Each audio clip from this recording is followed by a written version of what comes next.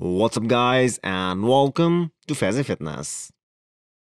So, how many of you guys have already seen the prejudging at Prague Pro?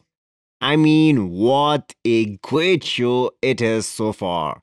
The guys really brought their best to the stage. And this is what open bodybuilding should look like. There were six guys in the first call out. Apart from the predicted five, there was also John Turek. I'm not sure how exactly to pronounce his name. He was also in the mix, who was, by the way, in a top notch condition.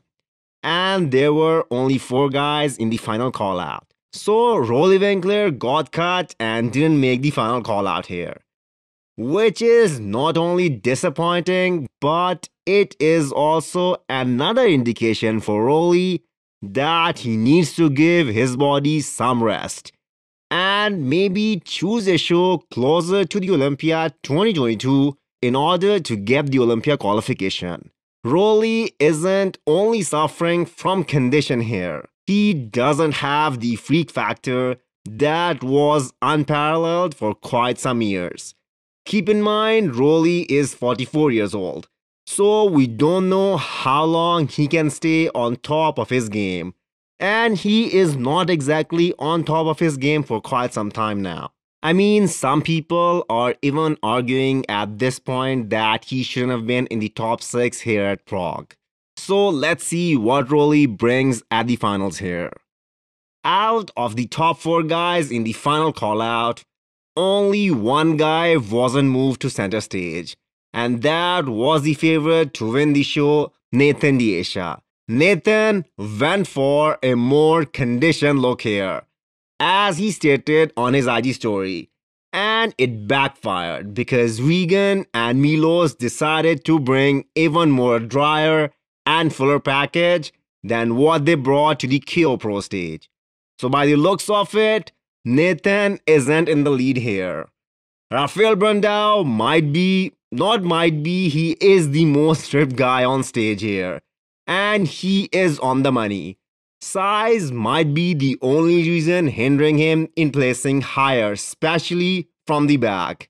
But what a great physique this guy has.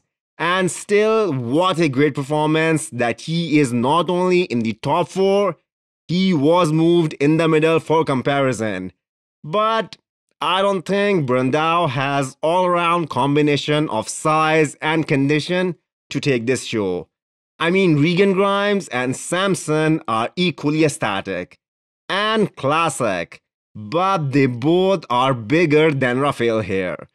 Both Regan and Samson finished in the middle, and Samson looked very confident post prejudging. All right, what's up, guys? So, we just done prejudging, and what the hell?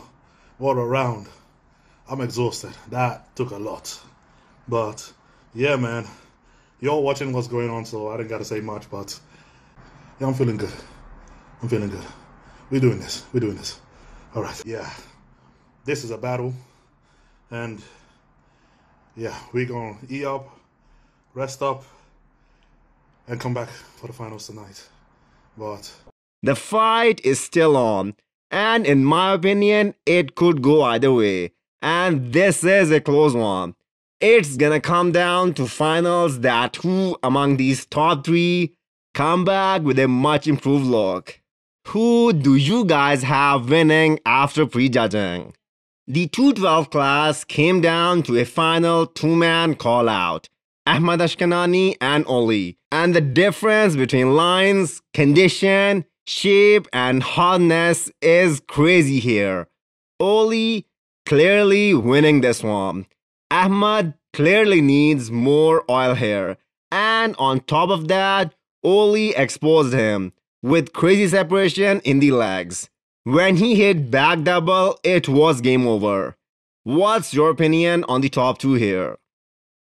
Stay tuned for the finals and hit the thumbs up button if you like the video and smash the subscribe button if you wanna come back for more. Thank you.